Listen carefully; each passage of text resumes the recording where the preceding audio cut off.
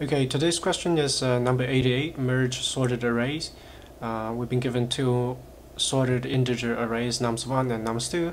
We need to merge the second one into the first one, and the result also needs to be a sorted array. Uh, there are a couple of notes here. The, the number of elements in initialized in nums1 and nums2 are m and n respectively, so uh, we know the so we, we essentially have four inputs, the two arrays and two integers telling us how many actual elements are there in nums1 and nums2. The second note here is that uh, nums1 have should have enough space. Uh, it's uh, greater than or equal to, so we might have some extra here to hold additional elements from nums2. The example we have here, nums1 is 1, 2, 3, 0, 0, 0. With m equal to 3, we know the first three uh, thing numbers are actual um, integer numbers that we care about.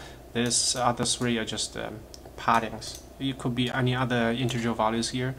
Uh, as long as m equal to 3, these three are just um, placeholders. It could also be 4 or 5 um, numbers after the 1 to 3. Uh, it doesn't matter.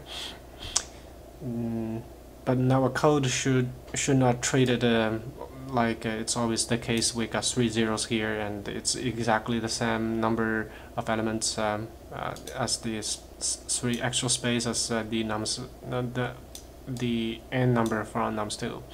So our code shouldn't really rely on things like that. Uh, nums2 is uh, uh, another array with 256 here. Uh, n is equal to 3, so there's no junk here in nums2.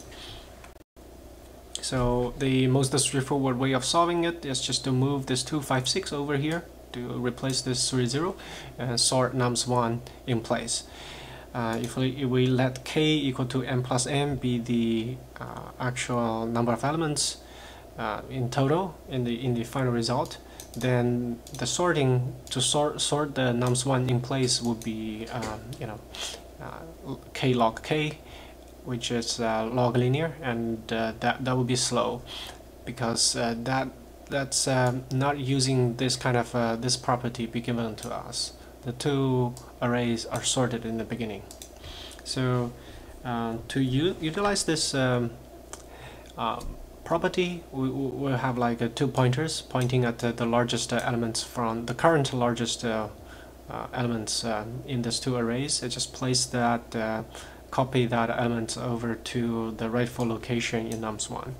Um, and we, we can actually just modify the value and decrement the pointer uh, without actually um, you know uh, doing this physical copy of uh, elements over there. Uh, uh, replace I should say replace or deletion.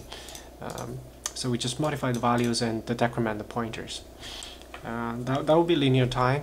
And to do to do that we need to figure out the relationship between these two these pointers so we have nums1 here and nums2. Um, and uh, we start with the larger largest elements that we care about, uh, which is uh, at the location 2, which is equal to n minus 1 in the beginning. And uh, for the second array, it's the same story. Uh, the the current uh, biggest elements from nums2 we haven't worked with yet is the last one, uh, which is um, at the index 2 equal to n minus 1. And the location we want to place the place the bigger one into is this location here, uh, which is uh, location 5. Uh, that's um, m plus m minus 1. So let's say that we figure out the 6 is a bigger one. We call uh, we modify the 0 to be 6 and decrement this uh, pointer here. Uh, it will be pointing at uh, 1. Uh, so in order to make a make a you know n minus 1 to be 1 we decrement n here.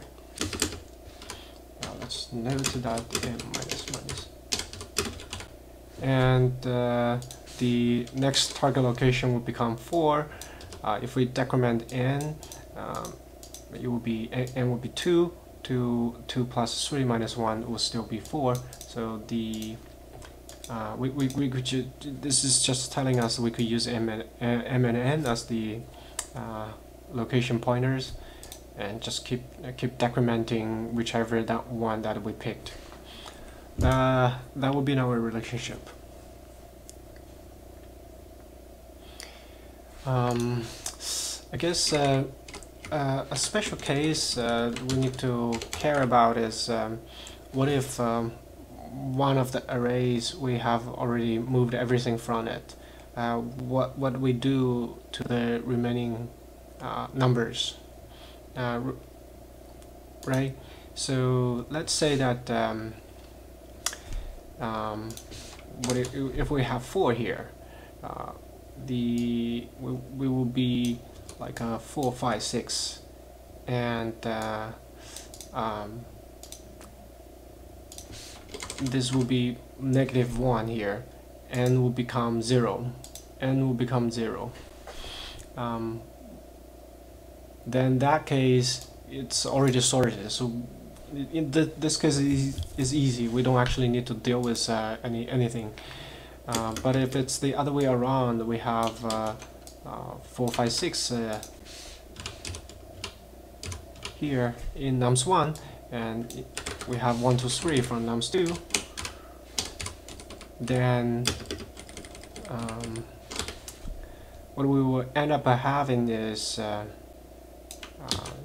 to replace this 30 with um, 456 and the first pointer is already become minus 1 um, so so that case um,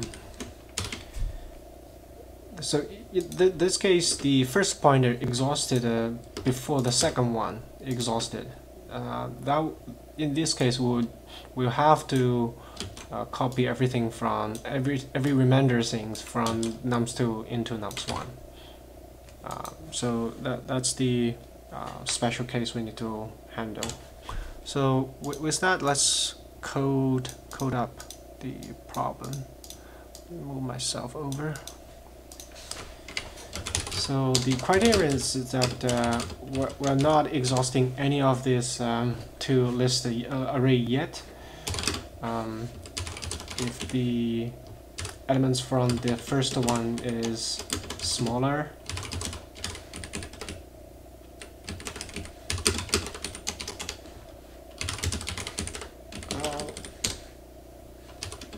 The target location is n plus n minus 1 um, we'll we'll always copy the bigger ones over and decrement that pointer otherwise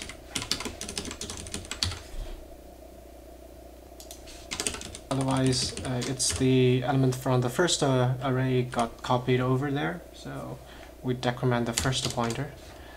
Uh, in the end if the if it's the uh, you know the second array decrement to the pointer decrement to zero uh, you know exhausted all the elements from this one uh, because it's all larger and everything is copied over here um, then we are fine.